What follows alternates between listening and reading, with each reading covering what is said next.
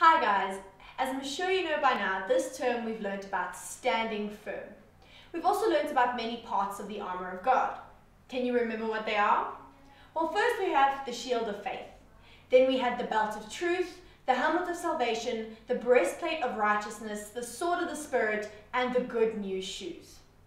But if we try to put all of this armour on and do it in our own strength, we won't be able to stand firm. So now, let's imagine that this cup and balloon is us, trying to stand firm in our own strength.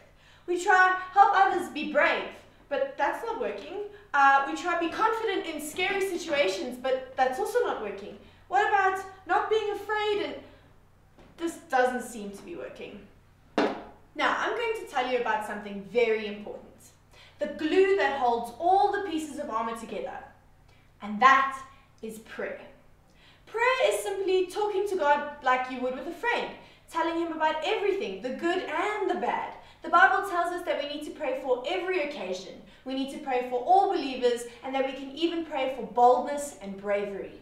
The best part is you don't even need to be in a specific place or wearing specific clothing or use big words to talk to God. He just wants to hear everything you have to say so you can form a relationship with him.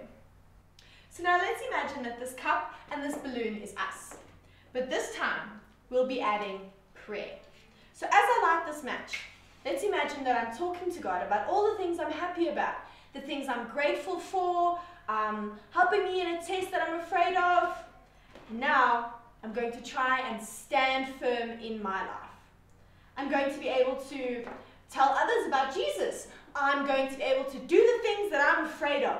I'm going to be able to pray for my friend's mom who's feeling really. I'm going to be able to be bold and share the word of God to everyone around me because I am praying and I am standing firm with the word of God. Now it's your turn to pray and stand firm.